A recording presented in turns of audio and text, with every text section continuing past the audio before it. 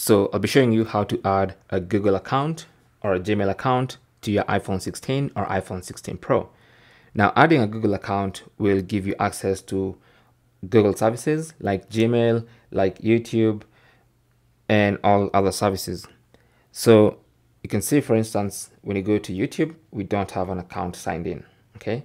And adding a Google account will basically add that Google account to all the Google services, including Gmail.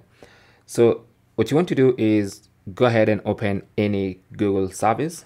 It could be Gmail, it could be Google Home, Google Photos, Google Maps. It doesn't really matter. So I'm just gonna open uh, Gmail and then tap on sign in. Okay. Now once you tap on sign in, tap on add account or add another account. If you already have an account, then that's when you put you tap on add another account. But since I don't have one, I'll just tap on sign in. And then it's going to tell me it wants to use google.com to sign in. Tap on continue. It's going to open that page from where you can sign in with your Google account. If you have your Google account details already saved in the password manager of your iPhone, then you're in luck. If not, then you have to type in the email address and the password.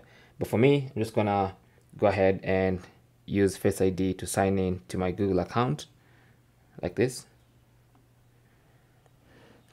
And of course, if there's any verification required, you have to do that. And then as you can see, we are now signed in with this Google account. So you can now tap on done in the top left corner.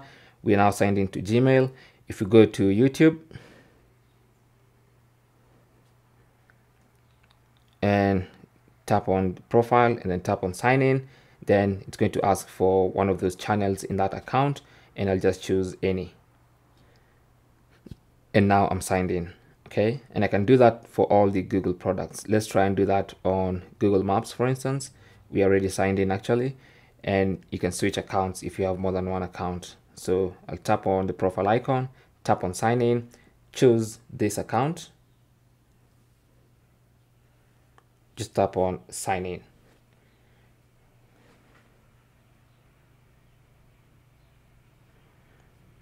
well for some reason uh, Google Maps is requiring me to sign in again but since I have my details I'll just do that. Email address password and tap on next. And I'm good to go. So that is basically how to set up a Google account or a Gmail account on your iPhone 16 or iPhone 16 Pro if you found this video useful, don't forget to leave a like and even subscribe. If you have any comments or questions, feel free to leave them down in the comment section and I'll try and get back to you there or I'll talk to you in the next video. Good luck.